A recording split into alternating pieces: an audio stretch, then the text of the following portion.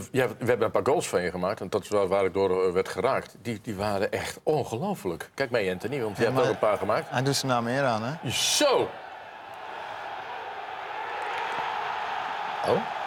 Ja, ze hebben er nog een paar, hoor. Die jij eh, bij elkaar heeft Ja, de- geramd. de- deze, die is wel aardig. Ja. Deze bedoel ik. Boom. Maar komt dat, en nou stel ik hem toch, eh, dat het verschil tussen bijvoorbeeld FC Utrecht eh, en de Jupiler League eh, zo groot is dat je hier makkelijker kunt scoren? Ja, ik heb bij Utrecht natuurlijk ook niet heel veel wedstrijden achter elkaar gespeeld. Ik, meestal als iemand geblesseerd was of schorsing, dan speelde ik één of twee wedstrijdjes. En dan meestal als hij weer fit was of er weer was, dan ging ik weer naar de bank. Maar natuurlijk zit er wel een verschil. En ik denk het grootste verschil is vooral dat Jupiler ja, heel veel gestreden wordt. Natuurlijk heel erg ja, aanvallend en een beetje hotse knossen voetbal ook wel. En dat is denk ik het grootste verschil eh, met de eredivisie.